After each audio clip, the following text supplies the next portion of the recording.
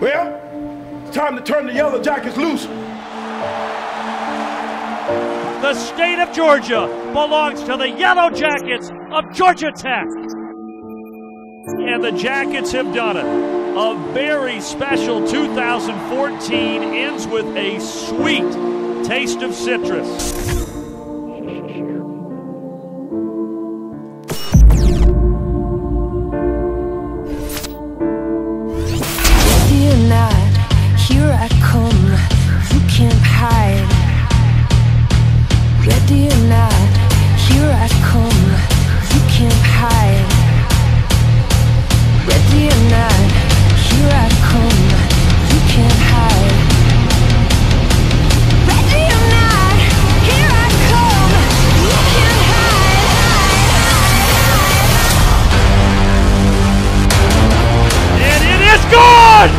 Hide. And